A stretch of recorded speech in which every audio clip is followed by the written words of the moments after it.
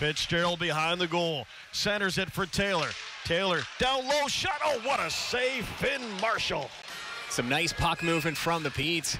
And Marshall reads this perfectly. Look at the push off and then does the splits to make that save.